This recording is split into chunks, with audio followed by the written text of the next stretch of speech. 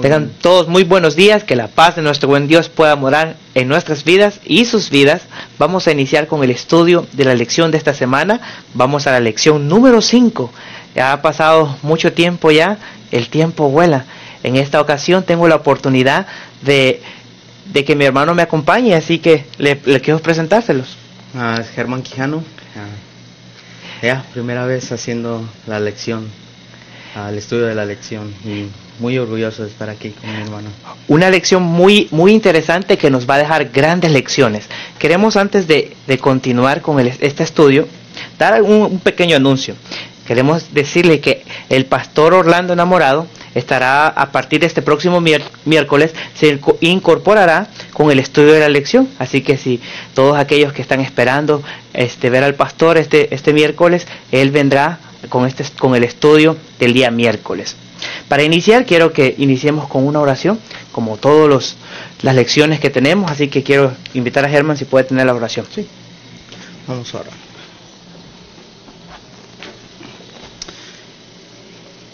Padre nuestro que estás en los cielos, santificado sea tu nombre, Señor.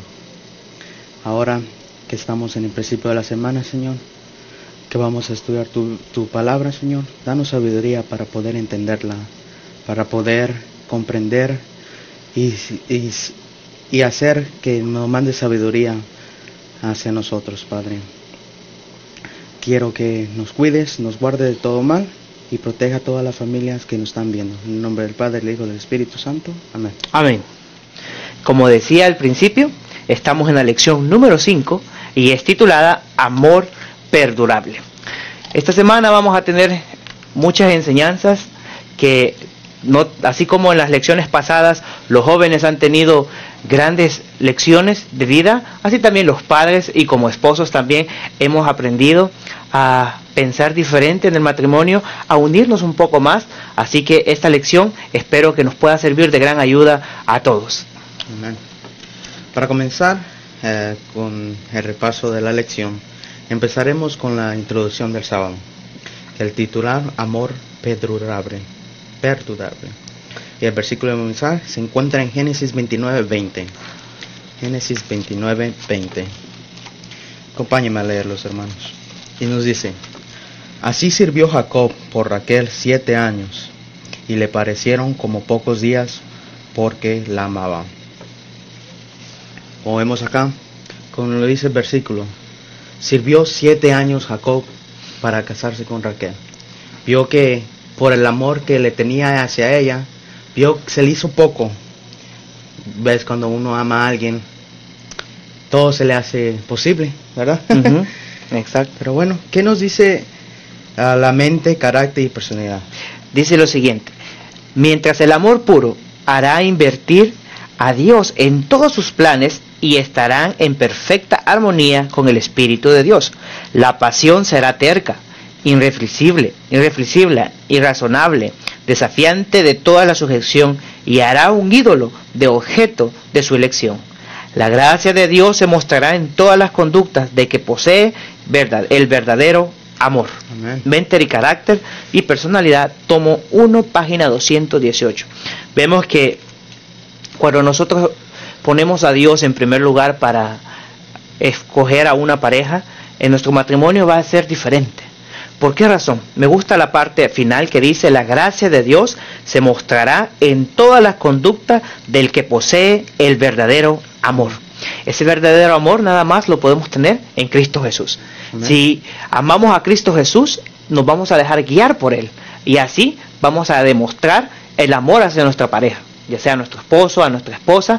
Vamos a, a ayudarle a que ame a Jesús como nosotros amamos también a Jesús.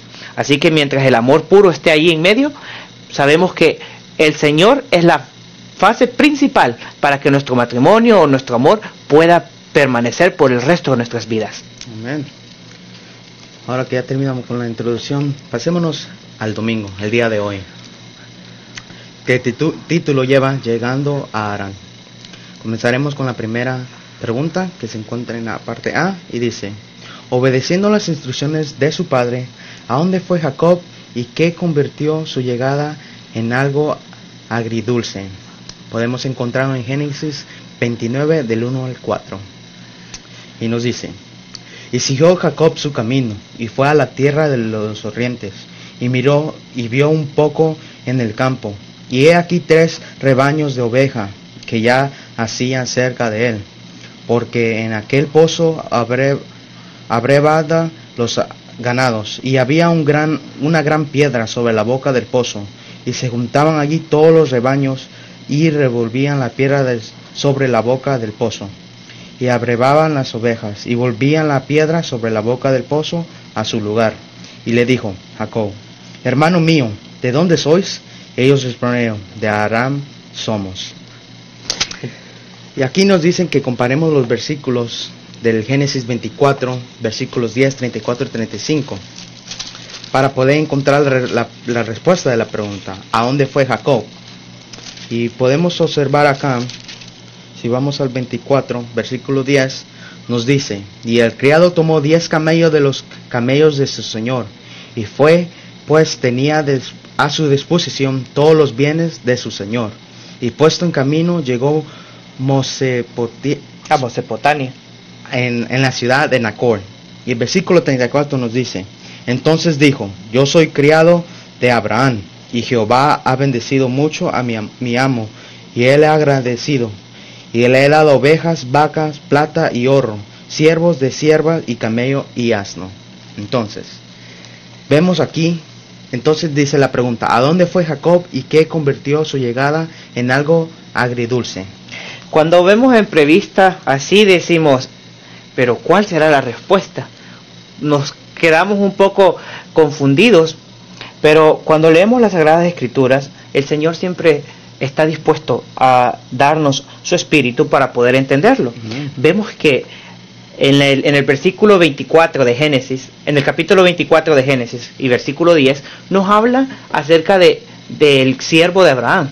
¿Se recuerdan lecciones anteriores que hemos visto que Abraham envió a su siervo para buscar esposa para Isaac?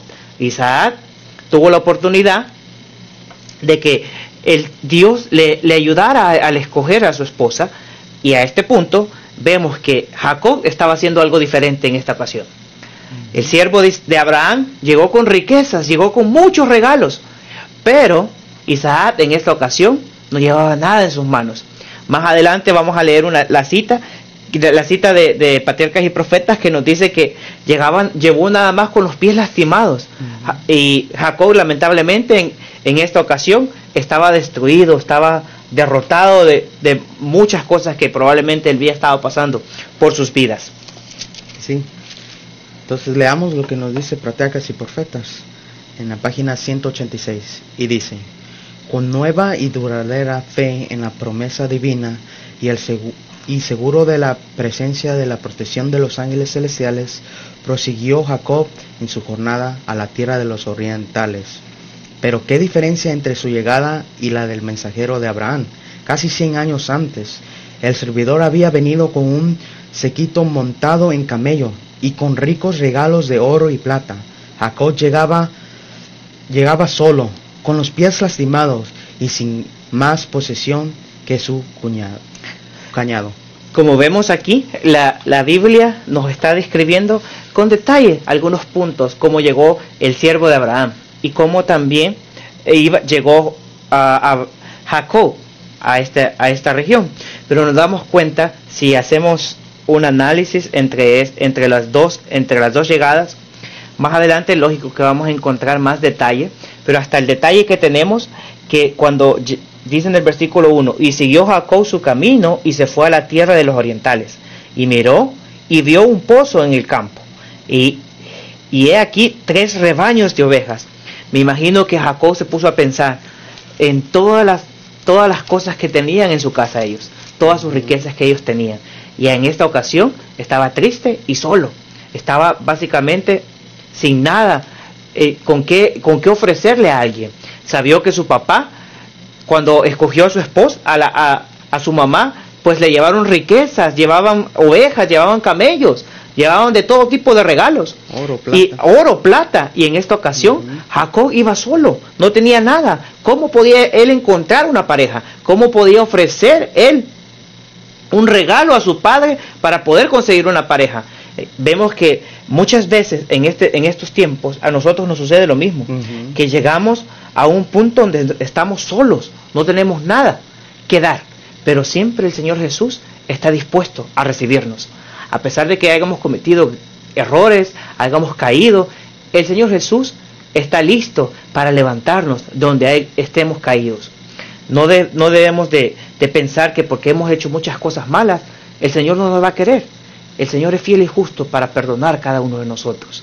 Pero necesitamos levantarnos y pedirle al Señor que nos ayude y no dejarlos ir hasta que encontremos esa paz que necesitamos en nuestras vidas. También nos dice aquí, comentando acerca de eso, dice que con- conforme a la fe que tengamos nosotros, podemos estar en medio de ellos. Vemos aquí que si uno tiene fe, todo es posible. Amén. Como dice la Biblia, en un versículo dice que si tenemos fe como un granito de mostaza, ¿qué tan pequeño es el granito de mostaza? Bien lo más pequeño que he visto en toda su vida. Podemos mover hasta montañas, dice. Y si uno se pone a pensar, me pongo a analizar yo en los, en los pies de Jacob, llegando solo, sin nada en mano, sin nada en posesión, yo me digo, wow, debe ser, me sorprende cómo él llegó, llegando a una tierra desconocida, Exacto. donde no sabía qué iba a pasar. Pero bueno, Eso me llama, me, me recuerda cuando nosotros venimos aquí a. Estados Unidos. Mi papá tenía mucho tiempo ya viviendo aquí, él solo, y me imagino cómo él se sintió cuando él llegó aquí. Eh, no tenía familia, no tenía familia cercana, mi abuelos, tíos, pero no nos tenía a, a su- a nosotros como Sus hijos. su- sus hijos como familia. Me imagino que él estaba, se sentía así como Jacob, perdido. perdido y pues no encontraba un lugar donde, donde, donde descansar su cabeza. Pero a la misma vez ah, llega al punto cuando nosotros venimos aquí, llegamos a un país diferente. Como de, de todo saber aquí en Estados Unidos, el idioma es el inglés. Mm. Veníamos a un país diferente, con un, una cultura, tradiciones, tradiciones cultura, muy diferentes lenguas. a las que nosotros eh, estábamos acostumbrados a hacer. Y me imagino que Jacob quizás se sentía un poco en familia porque estaba cerca de su familia y sus tradiciones estaban casi si- similares. Entre nosotros somos del Salvador.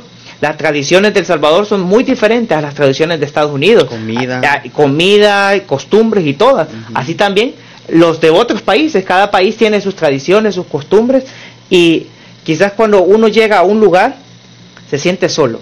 Pero como decía al principio, el Señor está dispuesto a estar con cada uno de nosotros. Y como decía Germán, la fe que nosotros vamos a poner en el Señor, esa fe es la que nos va a ayudar a seguir adelante. Amén. Bueno, prosigamos con la siguiente pregunta, en la parte B, que nos dice, ¿qué le permitió a Jacob sentirse más, más esperanza al acercarse a la casa de los parientes de su madre? Podemos encontrarlo en Génesis 29, del 5 al 6. Leamos, hermanos. Y nos dice, y él le dijo, con el 6 a Labán, hijo de Nacor. Y ellos dijeron, sí, lo conocemos. Y le dijo, ¿tienes paz? Y en ellos dijeron, paz. Y he aquí Raquel, su hija, viene con el ganado. Vemos aquí la pregunta, nos dice que permitió, ¿qué permitió a Jacob sentir más esperanza acercarse a la casa de los parientes de su madre? Cuando leemos los versículos 29, capítulo 29, versículos 5 y 6, nos dice, no, pues, pues vemos que se sentía en familia porque le dice y le dijo, ¿conocéis a Labán, hijo de Nacor? Y las personas que estaban ahí le dijeron, sí, lo conocemos. Entonces es un buen punto que Jacob estaba en familia porque sí lo conocía. Entonces podemos pensar que en ciertas ocasiones la familia nos puede echar la mano, la familia nos puede ayudar en momentos de dificultad. Y allí Jacob sentía una gran tranquilidad. Pero algo que me llama la atención, si nosotros queremos entender un poquito más acerca de por qué Jacob sentía más ah, esperanza, vayamos un poquito atrás a los versículos del capítulo 28, en el versículo 20, del 20 al 21. Nos dice lo siguiente, e hizo Jacob voto diciendo, si Dios va conmigo y me guarda en este viaje, que voy y me da pan para comer y vestidos para vestir, y si vuelvo en paz a casa de mi padre, Jehová será mi Dios. Vemos que una promesa que básicamente le estaba diciendo al Señor, te estoy poniendo una condición. si tú vas conmigo y me das paz y me das comida, tú serás mi Dios. Y aquí vemos que los hombres en el versículo 6 le dicen, y él le dijo, ¿tiene paz? Y ellos dijeron. Y aquí Raquel, su hija, viene con el ganado. Vemos que esa esperanza que Jacob había puesto en Dios, Dios se la estaba dando completamente. Le estaba dando paz a su vida, le estaba dando paz y esperanza, que allí podía ser un lugar diferente para él. Todo lo que había pasado con Esaú, su padre, su madre, años atrás, tiempo atrás, nos vemos que el Señor Jesús estaba recompensando a un poco de los sufrimientos que había tenido. Probablemente nosotros podemos decir, no sufrió porque le, le, quitó la primogenitura a su hermano, engañó a su padre, pero si nos damos cuenta en las lecciones anteriores, al principio Jacob estaba, no estaba decidido cuando su madre le dice, pues vamos a engañar a tu padre para que, le dé la, para que te dé la primogenitura, la bendición a ti. Jacob no estaba tan, tan emocionado de hacerlo. Vemos que estaba sufriendo internamente. Mm. Nos damos cuenta que el Señor en esta ocasión a Jacob en Génesis 29 le estaba ofreciendo una nueva vida, un nuevo, una nueva forma de vivir con paz y esperanza de que los suyos iban a estar con él. Los parientes de su madre, de su padre iban a estar junto a él y que podían darle una esperanza diferente para poder vivir con tranquilidad. Vemos aquí que él puso mucha fe, volvemos a la fe, que le puso mucha fe a la promesa que le estaba dando Dios, al pacto que hicieron ellos, al voto que hicieron ellos, diciéndole, si Dios va conmigo y me guarda de este viaje, Él será mi Dios. Y vemos que Él puso mucha fe hacia eso. Y quizás muchos de nosotros Ah, a veces no solo la familia nos ayuda, a veces pueden ser unos amigos, amigos cercanos acerca de nosotros. Por ejemplo, nosotros tuvimos muchos amigos que nomás llegamos acá, mm, trajeron comida, quizás no lo conocíamos, pero eran amigos de nuestro padre, de mi papá. Nos ayudaron a progresar, porque cuando venimos aquí ni teníamos platos, ni nada, nada de comer, no teníamos casi nada. Pero eso me admira de mi hermano Freddy, que él siempre tuvo fe. Quizás cuando nosotros estábamos en el proceso del viaje para acá, quizás mi mamá, mi papá perdieron mucha fe, quizás. Pero mi hermano aquí, yo estaba chiquito, yo estaba de 8 o 9 años. Quizás no entendía muy bien lo que estaba pasando, pero ya con mi hermano ya en los tiempos, años después, me explicaba el proceso de todo esto. Me admira mucho de la fe que tuvo Freddy siempre las oraciones, el ayuno que siempre tuviste, quizás ayudó mucho para nosotros llegar aquí, a una tierra nueva, a una tierra desconocida. Las oraciones de mi mamá, las oraciones de mi papá, ayudaron mucho, pero por medio de la fe que tuvieron, los tres, los cuatro, fue el medio de la fe de Dios para nosotros llegar a una tierra desconocida. Y bueno, ese fue el respaso de la lección del día domingo. Y vemos que esta semana vamos a aprender muchas cosas, hay muchos temas interesantes, como por ejemplo el tema del día de mañana, no más soledad. Tengamos en mente que la soledad quizás al principio es bien duro, pero ya cuando se va superando va cambiando muchas cosas. También vamos a tener ah, como los planes de Dios que han sido cambiados. Ah, vamos a hablar también un casamiento que no era deseado. Vemos que ese casamiento fue una traición muy grande, pero no vamos a adelantar a mucho detalle para que nosotros podamos aprender cada día, cada, cada día de estudio que vamos a tener esta semana, unas grandes enseñanzas, como les dije al principio, tanto para los jóvenes, para los padres, vamos a aprender grandes lecciones, que el Señor nos ayude cada día a poder tener la sabiduría necesaria para poder comprender todas estas palabras que vamos a leer, todas las inspiraciones que vamos a, tener sean de gran beneficio a nuestra vida espiritual y también podamos compartir con las demás personas de las grandes enseñanzas que la Biblia nos da a cada uno de nosotros. Así que esperamos que el Señor los pueda bendecir y vamos a poder despedir en una oración para poder entregar nuestras vidas al Señor. Les invito a que me acompañen para orar.